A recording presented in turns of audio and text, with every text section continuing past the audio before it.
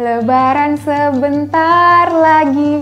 Wah, teman-teman, nggak kerasa nih sebentar lagi kita menyambut Lebaran.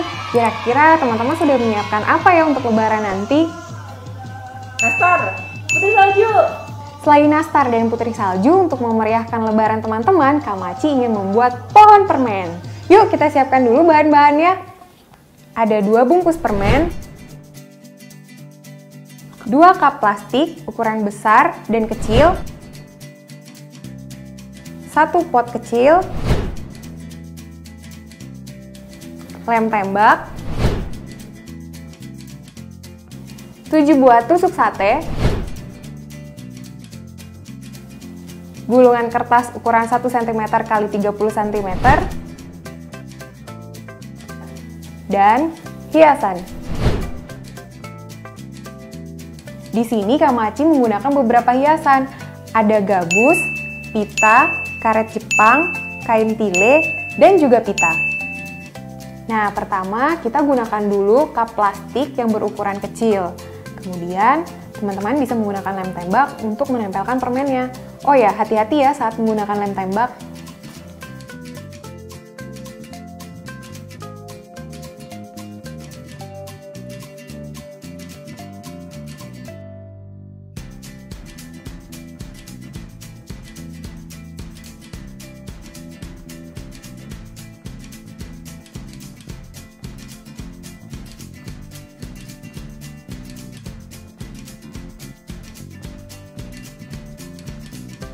Nah, kalau cupnya sudah tertutup permen semua, teman-teman bisa menyisihkannya terlebih dahulu ya.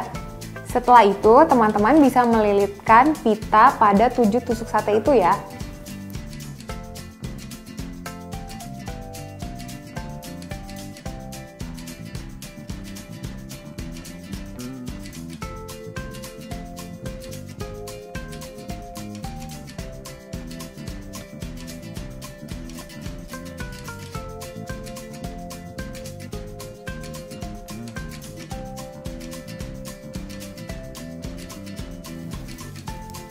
Nah, ini sudah jadi teman-teman.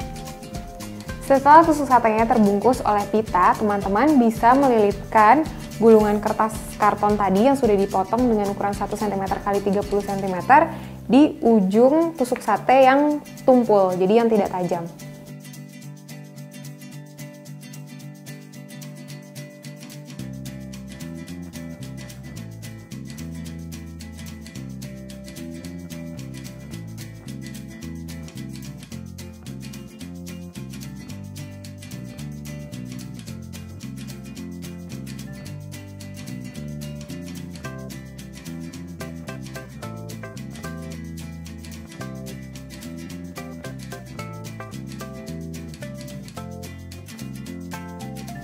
Setelah itu, masukkan gabus ke dalam cup yang berukuran lebih besar.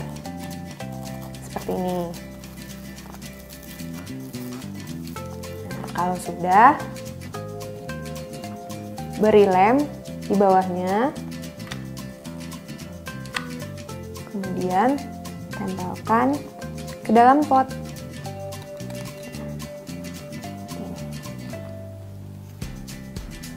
Nah, supaya potnya terlihat cantik, teman-teman bisa menghiasnya dengan kain tile.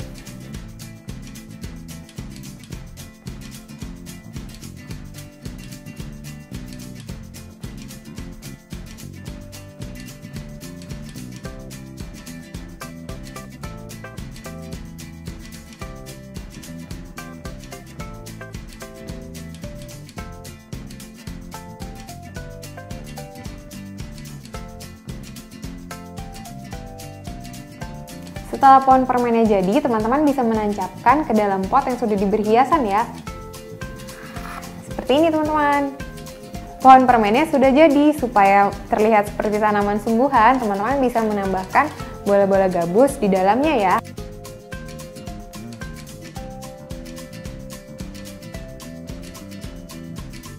Setelah itu, teman-teman bisa memberi hiasan pita di bagian batangnya ya.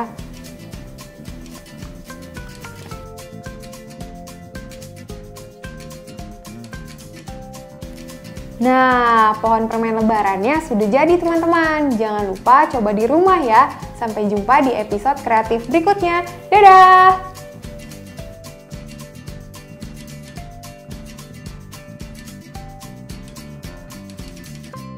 Teman-teman, jangan lupa kunjungi website untuk anak ya, bobo.id. Like, comment, share, dan subscribe juga ke channel Bobo yuk!